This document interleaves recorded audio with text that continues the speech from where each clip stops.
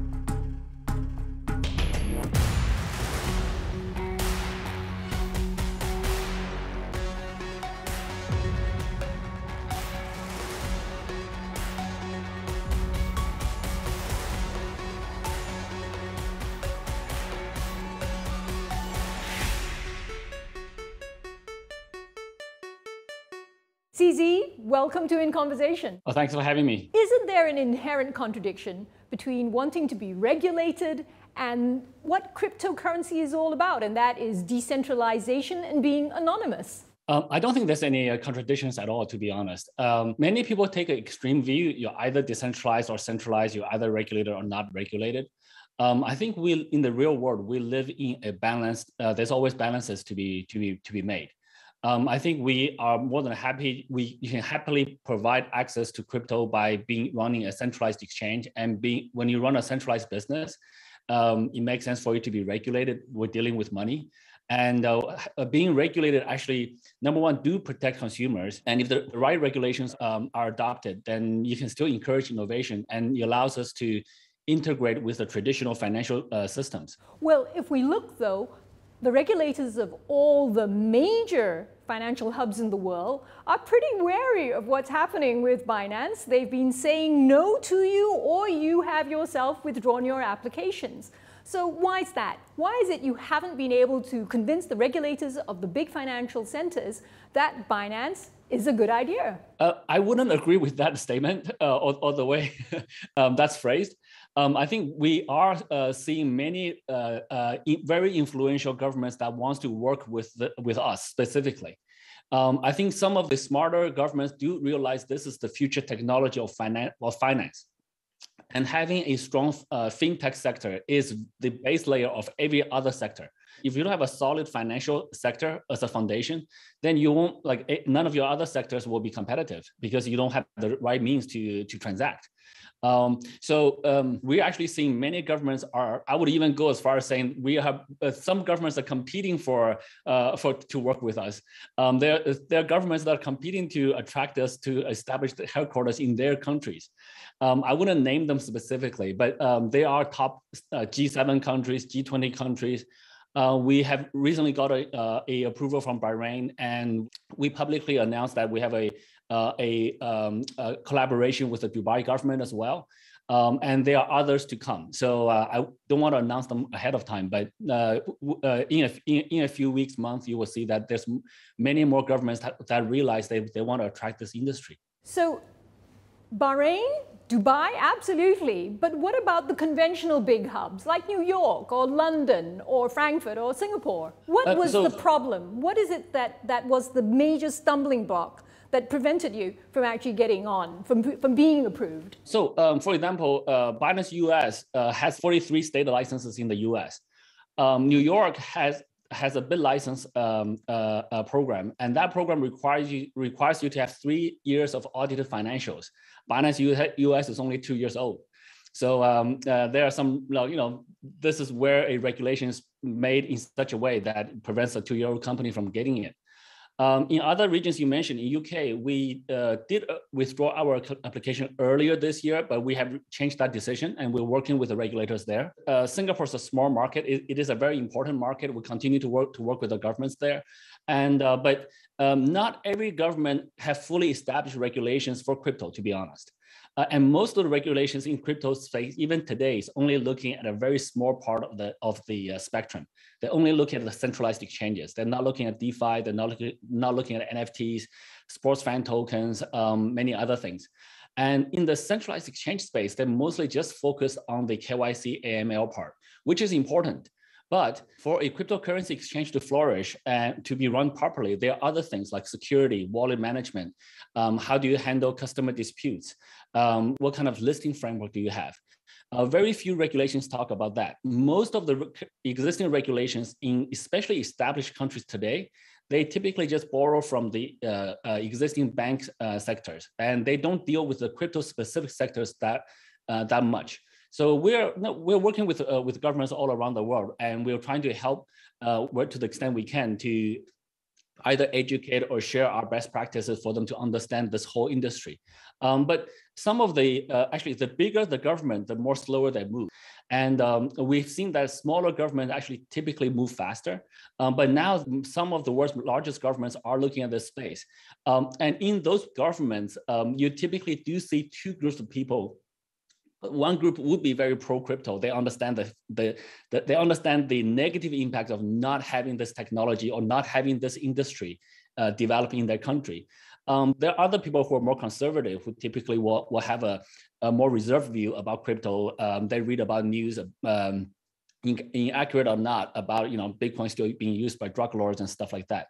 So you always have different views. Um, and uh, um, we're not saying that everyone in the world today has the best crypto regulations already. The regulatory landscape for this industry just beginning. So uh, we typically spend more time in the places where the uh, government have a much more uh, forward-thinking uh, and favorable view towards this industry, obviously.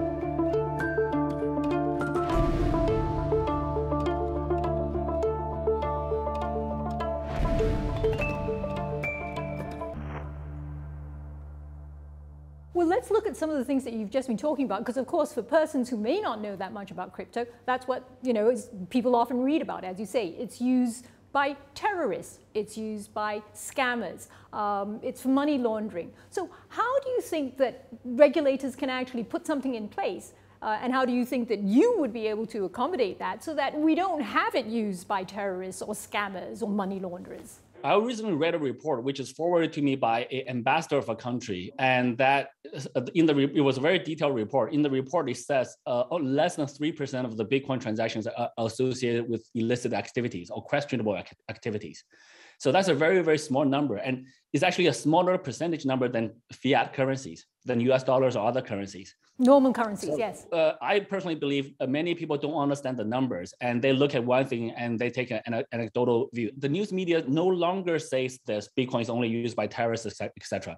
That was the case like five, six years ago, even though that wasn't true at the time either.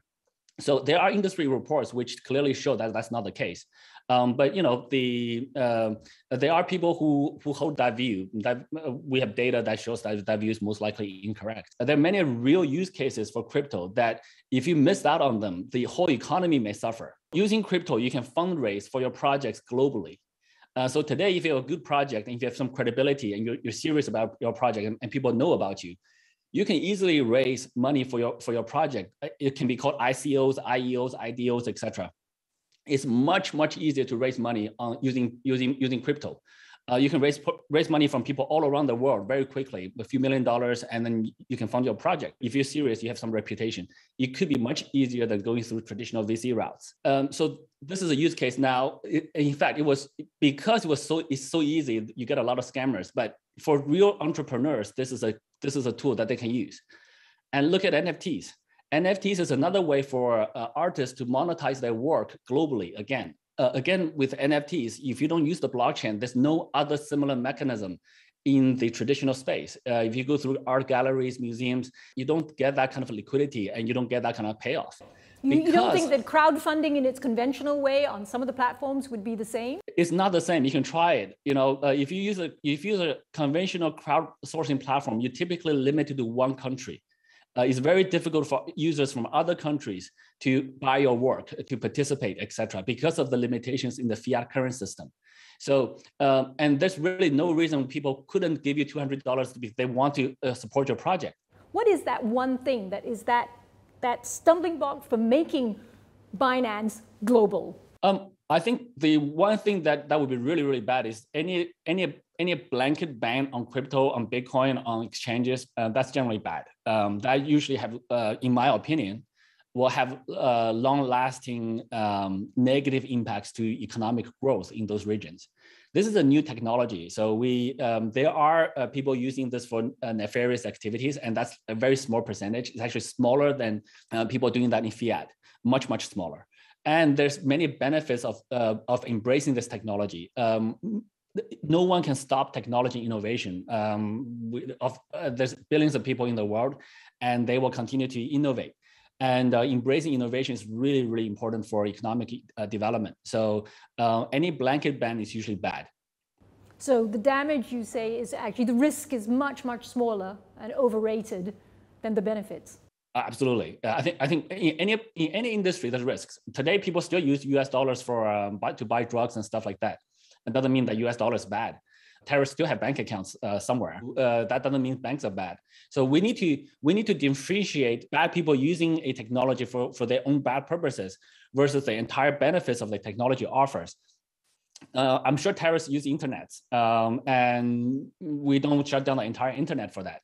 So um, yeah, so I think we, we got to separate those things and look at the this the benefits of like 99, 100x or 1000x more than what the uh, what some of the issues that we we do need to fight the bad players and reduce the issues, and we need to address the issues, but the benefits are so much larger. I hear you. We did a recent interview in which uh, one economist argued that actually it would make things much, much cheaper for migrant workers when transferring money home, which tends to be very, very small amounts, if they use crypto. Um, it, because it reduces so many of the frictions, uh, uh, costs, and, and, that way very small amounts can be transferred. Absolutely. So yeah, the, the, global remittances is a huge industry, and the cost today associated with using those services are typically 10, 20%. Uh, if you're a worker, and we typically see workers wire like $300 back to their home for to support their families and they get charged like 20 30 dollars for that transfer out of 200 300 dollars and these are not very rich people right this is these are people who work hard for their money and they have to support their families and they have to pay, pay 10% or 20% in that just just for transferring money uh, with cryptocurrencies you can you can now achieve that and with a fraction co- uh, like with a few pennies or even less if i was a small company and i was thinking and saying hey how can i reduce my costs of all these payments that i make would crypto be something I should consider and why? Oh, absolutely. I think that today the world is much smaller. We work with people all, across, uh, all around the world. You don't work with people only in your country. When you talk about cross-border border payments, um, the traditional fiat currency systems are typically very expensive and very slow. Um, so with cryptocurrencies, you know, it's it's instant and it's very low cost. This will make the friction of you working internationally much less, which will make you much more competitive internationally. So uh, any business that doesn't use this will typically put themselves at a significant disadvantage.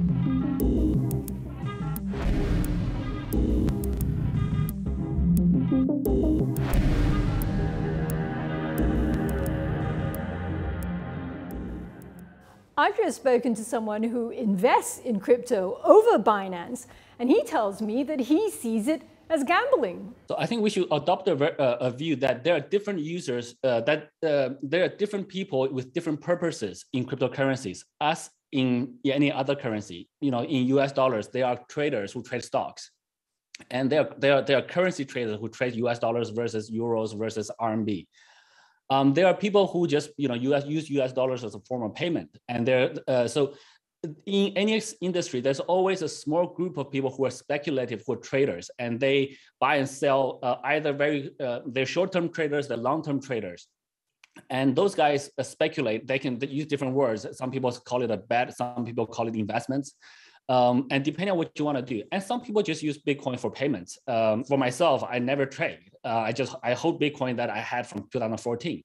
So um, do you call that a bet or not? Um, that depends on your definition. But uh, in every industry, there are different people using this tech, new technology, new asset type for uh, for different things. What about uh, if we liken it to uh, stock exchanges? In stock exchanges, though, there have been uh, there's been a real push towards more knowledge from uh, people investing, and also that banks, when they give advice and so on, also need to check that the investor is aware of the risk. Do you think that that should also be the case for crypto exchanges?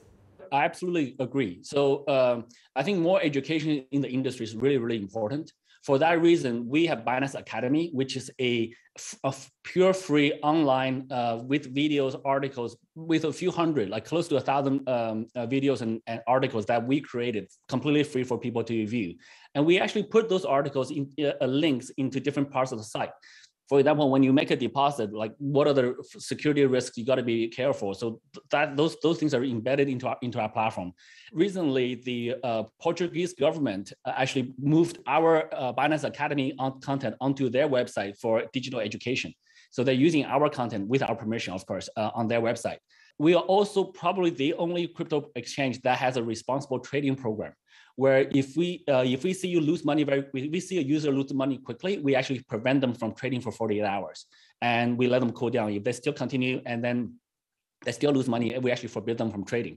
So, and uh, before entering some of the uh, product areas, people have to take some really explicit quizzes where we ask them like uh, inv- investment questions that are very explicit and they have to choose the right answers to get to get in. Well, if you're going to stop people from trading when they actually lose too much, won't that actually mean they'll just move over to some other exchange that where they, they aren't so careful? Uh, possibly, but you know, as you said, um, uh, this is this is it's a, it's a balance. So um, we try to do the maximum to educate our users. Why not then get together with an existing stock exchange. I mean, after all, you come from a background of computer science, but you were also at the Tokyo Stock Exchange. You know conventional stock exchanges. Why not connect with them and then, so to say, come mainstream that way? Wouldn't that also get over a lot of the regulation problems? I think working with them definitely a good idea, but I wouldn't say that just by working with them you'll get over the uh, uh, regulatory problems. It's not like they're the regulators. It's you know, and the uh, regulations about crypto is not 100% clear, to be honest, in most places in the world, even today. We, we do not rule out that, that possibility, but um, uh, I wouldn't say just by just by working with Nasdaq, you automatically um, uh, have no regulatory uh, concerns. Uh, that I think that's not the case. So, but we're very open to working with uh, traditional players. You're not afraid of them eating your lunch, as the expression goes. And no, um, so I think the more players that come in, the more people who come into crypto, the better it is for everybody who's already in crypto today. So it is very important for us to grow the industry. The market is so young, so early. We can grow it by a thousand x, ten thousand x. The more players that come in, the more opportunities it actually creates in the industry. Uh, if you if if you're the only person using crypto, then you're in the wrong industry. If everyone's using crypto now, which is the case, um, uh, the industry grows bigger and there will be more opportunities in this industry. I fully believe that the decentralized exchanges was one day replace centralized exchanges. I don't know when that's going to happen, but I'm looking forward for that to happen. When that happens, we can work on decentralized exchanges too. Um, so we can embrace that technology. So we embrace everybody coming in. We embrace in technology innovation. We embrace competition partnerships. Mm, we embrace all of that. Could we see Binance getting approval in London or Frankfurt or in Singapore in, let's say, three to six months? It's not game over yet? Yeah, three to six months is a very short time period. To, to be honest, like uh, uh, uh, regul- regulations don't change that fast, uh, and they don't move that fast. But I, I would say in the long long term, we we we aspire to be everywhere uh, in a fully compliant man- manner. So um, um, yeah, so just just because we short term um, is not in a country, and in fact we're not we're not in most countries today. Um, and uh, it doesn't mean that we, we won't be there in the future. I, I foresee a future, you know, 5, 10, 20 years from now, crypto will be everywhere and Binance should be everywhere as well. What about places like India, where some of them have said, I mean, Prime Minister Modi himself has said that it spoils the youth. How do you change a mindset like that? I don't think we need to change mindsets of everyone. Um, there's 8 billion people in the world. Everybody thinks differently, and they have the freedom to do so. Um, I think we only need to service crypto to be the people who want crypto. Um, I personally view this as the uh, most impactful technology for our financial and then industry economic growth. And so that's why I'm spending all my time uh, in this industry. I fully believe the younger generations who grow up will be crypto natives. But if another person doesn't hold that view, they don't have to spend that time in the industry, and they may have an impact on the industry, at least on the industry speed of growth. For people in key decision uh, uh, uh, positions, their views will impact the growth of the industry and the growth of the economy uh, and other people's lives. Um, I do uh, really hope that those people can look at economy development as a primary driver and to better people's lives um, to further grow the economy in, in the places they are in charge of. We're seeing like more and more people coming into this industry at a phenomenal pace. Um, I think the crypto users probably grew by somewhere between three to 500% just this, uh, this last year alone. So uh, the industry is growing, but we don't need to get everybody. But you are tiny compared to mainstream, uh, you know, exchanges still. Uh, relatively speaking, you're talking billions, while mainstream uh, exchanges will be at trillions.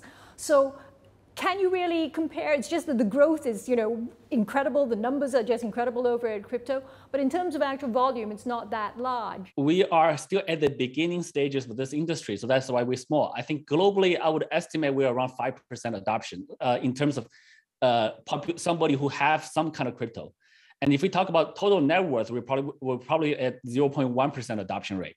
Um, so uh, very few people put all of their uh, net worth into crypto. And we don't need to get to 100 we can we grow from 5% to 10 to 20 to 80 and then probably the last 20% probably will take a, couple a couple decades. Uh, because you know um, my mom probably will not be a heavy crypto user because of her age and her like she doesn't even know how to use the iphone that well. Uh, we're definitely early and uh, so we're smaller. That's fine but I think the trend is very clear. The, uh, the number of users in crypto is growing and is not stopping. And that's important for us. CZ, thank you very much for being on In Conversation. Thank you so much for having me. Cheers.